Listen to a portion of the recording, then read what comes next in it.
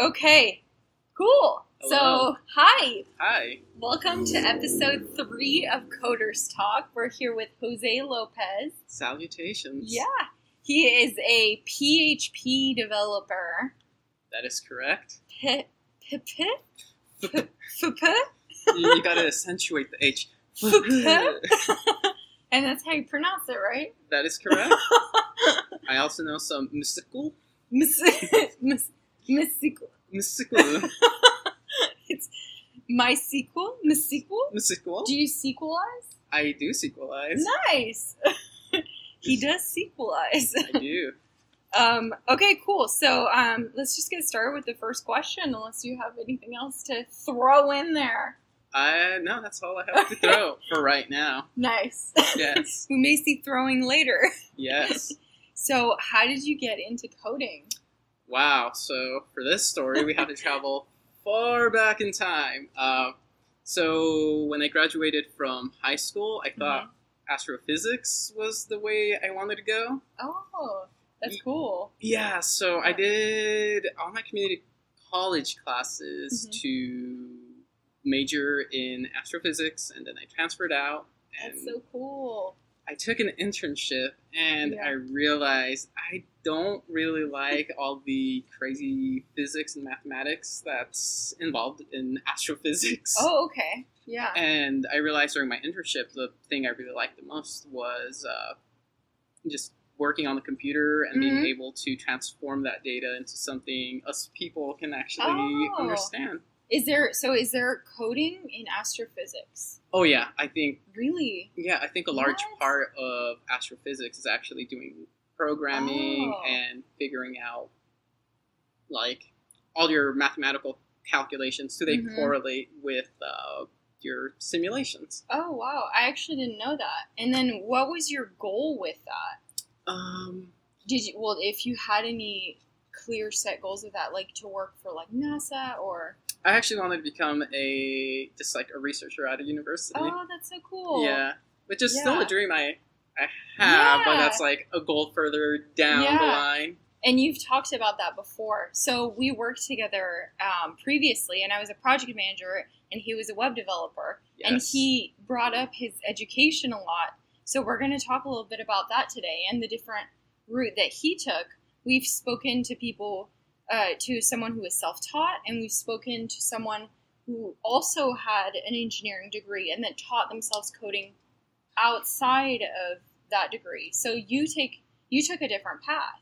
Yes, I did. Yeah. Education. Um, so it was very interesting. Uh, so in a school scenario, you're taught a lot about theory, Mhm. and all your core classes are just centered around theory. And even your programming assignments are like, hey, Mhm. make this run faster or optimize this storage, but you Yeah. don't really actually do like, you know, build an app. Uh, you have to take elective courses for that. Oh, really? Yeah. Hmm. And if you don't take those elective courses or the right elective courses, you're kind Yeah. of like when you hit if you hit the job market, if that's your goal after Yeah. college, then you're kind of at a disadvantage. Okay. Okay. And I feel like part of what helped me out was I took uh, three different elective classes that were like build an app or build Yeah. data visualizations and yeah. Yeah, and you did end up building an app, right? And it w- was it an Android app. Ah yes, uh, Yeah. actually both an Android and an iOS app. Oh, cool. and they would uh, track buses around campus. Oh my god. And yeah, because one of the biggest things about uh, so I went to Santa Cruz, Yeah. and the campus is like literally on a hill. Oh my gosh. yeah, and built inside a forest. What? Yeah. That's so cool. So if you're trying to go from like point A to point B, it's Yeah. like not a straight shot. You have to take a short hike. around. hmm Those trees, get out of the way. Damn trees. yeah, and you'd show up to class just like covered in sweat. So if you wanted to Oh, avoid man. that, you'd just take one of the loop buses. But the problem Okay. was it, they only come like every five to ten minutes. So you have to sync it perfectly. Exactly. Oh, and if you miss like the window, then Yeah. you're like, well, You're late or you're sweaty. or Yeah. both, which is always my case. Yeah. yeah. So especially during finals, that is something you did not want to Oh put yeah. up with. So Yeah. You can't risk that. No, not at all.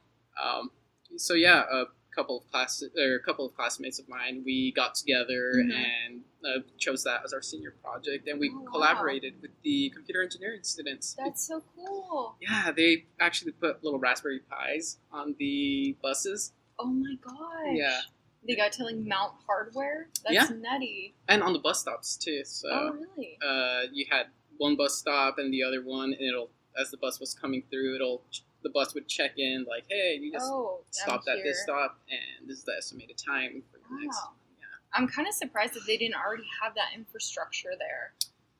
Yeah, so we thought, you know, this was a project someone had already Mhm. kind of put in place, but it wasn't, and we were both pleasantly surprised and happy because, you know, it gave us a senior project to That's do. so cool. Yeah. Yeah. And And- Go ahead. oh, I was just gonna say, no one messed with the Raspberry Pis.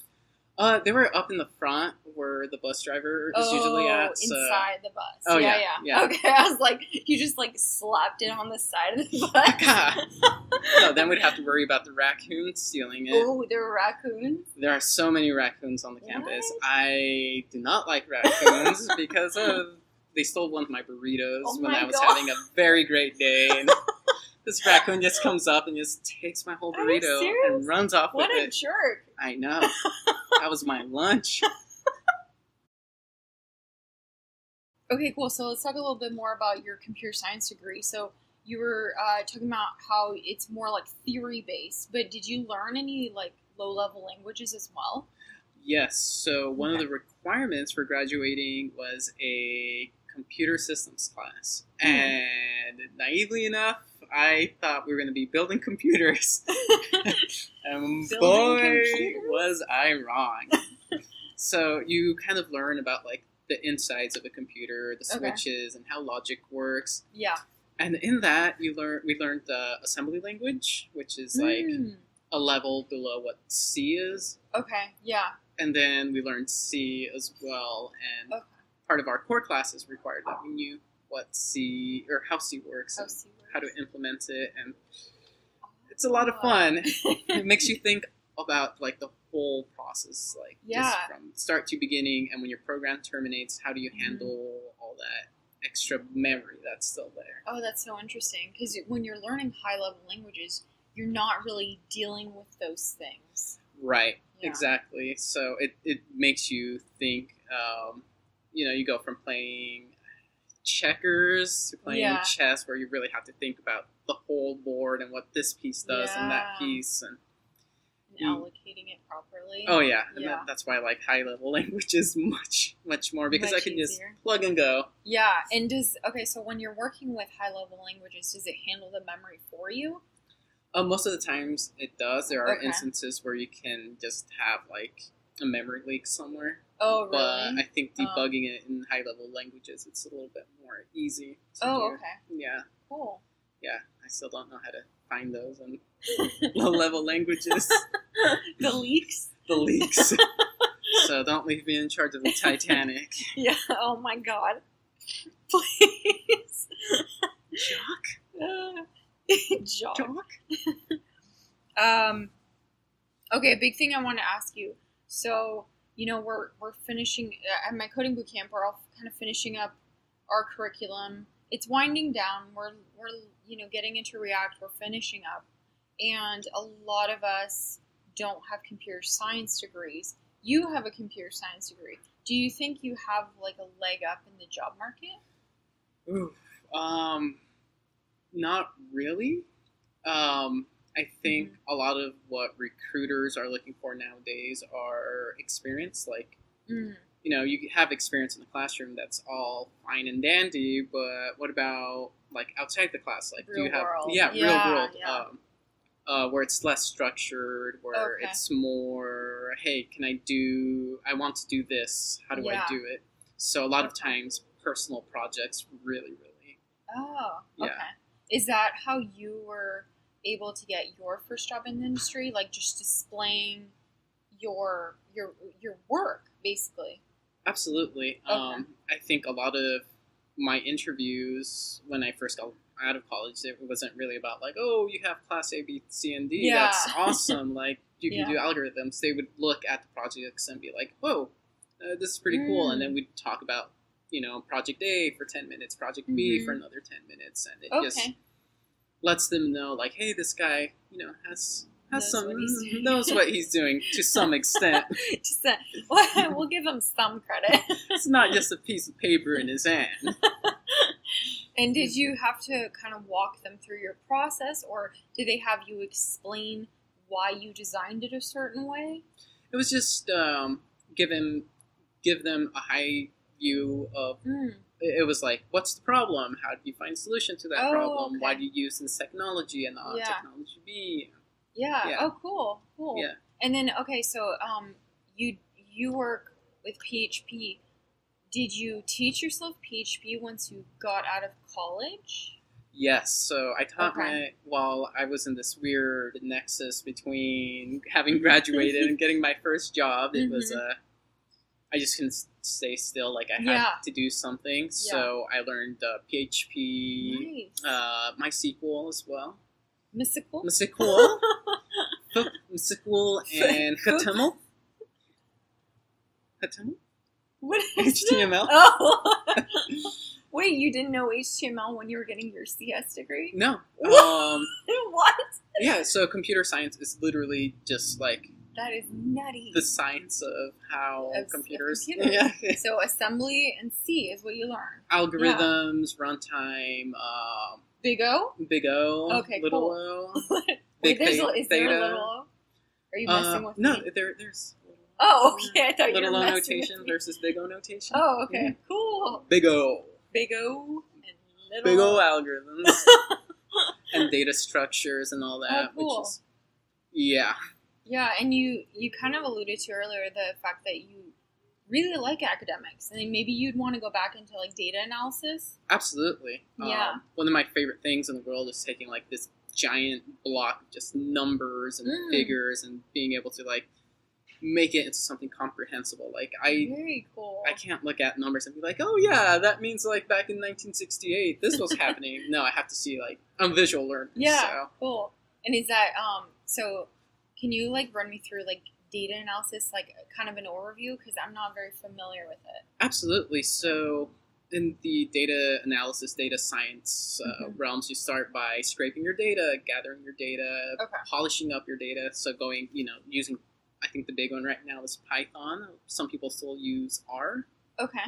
Yeah. Uh, they go through the data set, they clean it up, like, oh, I don't want this column, I want this column. Mhm. Don't, you know, uh, add headers to my information so we can know what the heck's going on. yeah. And then finally, you plot the data, you do whatever, Mm. uh, you know, create fancy looking graphs. Um, Oh, okay.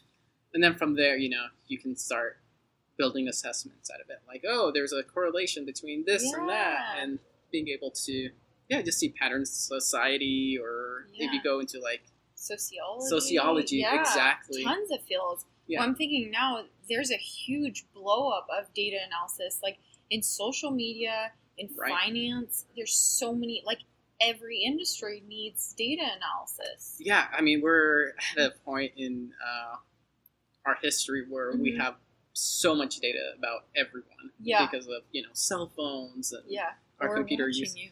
Big Brother's always watching. yeah, so Yeah. There's a lot of data out there and Yeah. not a lot of people looking at it and being able Mhm. to, you know, my big thing is make society better with tools we Oh, yeah, have. yeah. So Finding like uh, like reducing down that data to human understandable yes, like uh, things that you can do with that data, actionable items. yes, Yeah. absolutely. Oh, that's very cool. Okay, so we're going to talk a little bit about the transition between academics to work. All right. Yeah. Okay, so it, it was a very interesting transition to say the least. Uh, at school, there was kind of a more structured Mm-hmm. balance. I know, I, I know, at a job, you're kind of like eight to five, but Yeah. what happens between those hours, it's like completely different. Like at school, you know, you, you knew you had homework assignments to do, you Mhm. know, you had tests on certain days, you know, you had to study for finals or midterms or whatever. and you kind of got used to that routine because Yeah. you know you've been doing it since you're in kinder, Mhm. and then you get to the workforce and you're like, wow, it's eight to five, but I don't know what I'm going to be doing on the given day. Like, yeah. uh, who do I ask questions? Do I raise my hand to go to the bathroom? what's uh, what's the deal here? Yeah. So, uh, was definitely a, tough transition for me at 1st uh, because I've never done something from like eight to five, just Oh, really? go going Yeah. straight. I, I mean, when I was doing homework, you know, I'd have all nighters, but Mhm. I'd you know have like little times in between to take a break, to get some rest, take a nap if I needed to. Yeah. And yeah, at work it's just uh, eight hours straight, five Yeah. days a week. uh, definitely, the skills that I had to implement at work were different. Where Mm-hmm. at school you don't really have to interact much with people. Um, you know, you can be a complete hermit and Mhm. only talk to people when you really need to. Yeah. Or yeah, where at in the workforce, I you have to ask questions. I mean, that's the only Mhm. way to learn is you ask questions, you ask for clar- clarifications on certain tasks, Yeah. tasks, and yeah. So that was a fun transition. Uh, definitely, once I got more experience in the workforce, I definitely prefer you know an eight to five than. Uh, eight to five Monday through Friday, than a school day where it's just like you get to do homework all the time, every day, even on Sundays. So Yeah. it's definitely much Yeah, because it's like restricted. Then you know I'm going to be working 40 hours a week this week. right, Yeah. right. But um, so you were. I mean, we were kind of talking about a little bit about. Well, we we worked at the same place, and it wasn't a positive work environment. Right. How did you? How did you like pull yourself like out of there? Like, how were you able to like mentally go from such a toxic work environment to like a, a good work environment that you're in now? Okay. Uh. So, yeah. When the when I transitioned from being in college to the Mhm. workforce, and I thought that's how the workforce was supposed to be as a programmer. Like you just get thrown into Oh. the fire, and you you know you learn as you go, and your supervisor's just there to, you know, check in and solve issues. Uh, I did not have a lot of support. If it weren't for my like fellow colleagues, Yeah. I probably would not have learned and not have lasted more than like three months there. Mm-hmm. Um, so yeah, I, I had like a lot of issues working there and trying to stay afloat, and it just became very stressful to go Mhm. in every day, Yeah. trying to figure out like what am I going to do and how am I going to do it Yeah. because I have no real sense of direction, no real Yeah. way to break down the problems here. Mm-hmm. Um, so I started getting like really stressed out, and a lot of it was leaking to my personal life. Oh man. Yeah, I so that. Yeah. so a lot of times, you know, it was just like having arguments with my significant other Yeah. about just dumb little things. That, Yeah, that don't even matter. Yeah. Yeah. exactly. So there, there was one day where I was just, uh, you know, we had a small little argument, and I, I Mhm. was just sitting there, and I was thinking, whoa, like that is not right. Like I shouldn't. This, this shouldn't be something that's like even should be an issue. It should be Yeah. a simple, hey, you know, this happened, and we should Yeah. solve it this way. So I kind of realized that, hey, you know, this this is toxic for me. I cannot keep doing this for my own personal health, for the Mhm. well-being of my relationships outside of work. So, um, yeah, I decided. I sat down and I was thinking about like, oh, wow, these all should have been red flags. Like every time I came to my supervisor with a problem, instead of him dealing with it in a Mhm. constructive manner, it was always a "you're dumb, I'm holier holier than thou" Mm-hmm. uh, manner, and that's just not Yeah. not a good way to learn, and not a good way, especially for someone who's in their first position. To Yeah, and it's not productive at all because it's you're trying when you're trying to get a job done, you're not trying to be told like everything that you're doing wrong. right, You're just trying to find a solution. exactly, you know, Yeah. and there should be a balance. Like, hey, you know, you did this incorrectly, but Here's how Here- to turn it around. here's how to turn it around. Yeah, or here's what you could have done better, but I like how you did this. sure. So some yeah. sort of like positive feedback in there. hmm So yeah, um, you know, I found a different job, and it was kind of strange getting into a position where you're treated with some sort of respect. Yeah. For Yeah. as opposed to somewhere where you were just treated indifferently. Mm-hmm. Like even in my new position, even when I've made uh, when I've had hiccups in my Mhm. work, uh, my supervisor's always been like super cool about it and is Mhm. always like, hey, you know, you should remember to do this next time you're presenting Yeah. with such a problem. And I'm like, wow, yeah. And uh, while I did learn a lot in my first job, I feel Mhm. like within the same time span in my second job, because of the kind of supervisor I have, Mm-hmm. I've learned so much more. Oh, Like- really? Like Oh, that's so much more. incredible. Yeah. Okay, I'm really glad. Oh yeah, absolutely. Yeah, that's really cool. I I know that um yes, people I think do a lot better when they're encouraged. It sounds like kind of ridiculous to say, but when you go out into the real world, you kind of need a little bit more leeway and a little more encouragement. Yeah, it's like doing a sport. Like if Mhm. you're trying out, you know, if you're trying to play soccer for the first time and someone's Mhm. just like, "Oh, you don't know how to kick the ball," ha ha ha, Yeah. disappointing and laughing and not telling you, "Hey, maybe instead of kicking it with your knee, you should try kicking it with your foot." Kick it with your knee. yeah. Yeah. So I was I love sports analogies. yeah, that's a great analogy. uh, yeah. So you know, having the right coach and to Yeah. coach you well, and especially people who like are coming out of college or coming out of school Mm-hmm. or, or this is their first job, you want to make sure you you leave them with a good first impression because we do have a shortage of you know software developers, web developers. oh, really? hmm There's still the It doesn't seem like there are so many like um, job postings. yeah. There's But yeah, but a lot of them take a while to fill yeah. Up. Okay. uh, and also finding quality developers. Yeah, Um, it- and it, it goes back to that. Like, if you don't train them, if you don't give them the proper training, the proper feedback, Mhm. then how do you expect them to get How better? do, you, and, how do they learn? Yeah. yeah, and you know, if you teach good practices, Mm-hmm. they'll end up teaching good practices, Yeah. and you just get this nice circular flow, Nice. and yeah, Loop of feedback. a yeah. feedback of good developers. So we were talking a little bit earlier about um, the like women in computer science, and I was telling you about how at my boot camp I think we have seven women out of like thirty students, which is a pretty decent ratio. right. Yeah.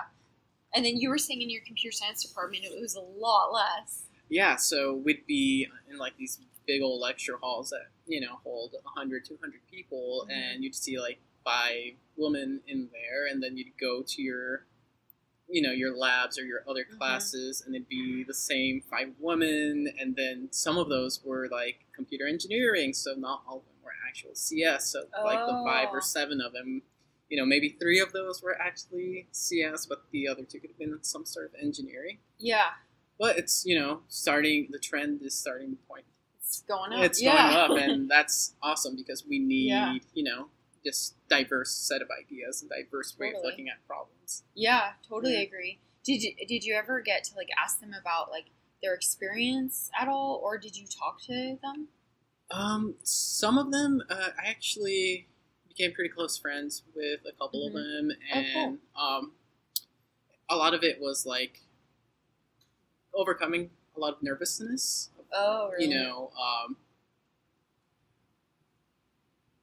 they want to not feel like they're being treated differently Yeah. or, you know, don't want to feel like they're asking them questions. I mean, like, Mhm. I was a minority in the CS program as well, and Yeah. you know, I could relate to some of the questions, like, well, you know, is this a dumb question to ask? I'm Yeah. not seeing anyone else ask it. And Yeah. Trying to overcome that. almost Totally. Like imposter syndrome. in a way. Yeah. Yeah. I get that. Yeah. I I'm kind of like that in class too because um, men tend to be very open and free with advice giving, even if they don't know as much as me. Right. So I've kind of stopped participating in class because I was getting a lot of that type of feedback from my classmates. yeah. So that was a thing. Yeah, and a lot of times people talk so sure about themselves, Mhm. especially I feel like in CS, and you're like, whoa, this guy seems yeah. to know a lot, but I don't really, Yeah, know, I don't really know. So- exactly. Yeah. Do you think that um, the other men in the classes you were in noticed that there were not that many women? Uh, I believe a handful of them might have. Mm, okay. Um, Other times, I feel like so many of us just kind of became used to how this was that we were like, Oh, eh, you know, yeah, kind of indifferent towards it, which isn't, you know, yeah. It's kind of a norm. kind of a norm. Yeah. Interesting. Yeah. But- Well, yeah, it's moving away from that. I think. yeah, absolutely. I mean, Stanford has a 50-50 ratio now, which I think is awesome.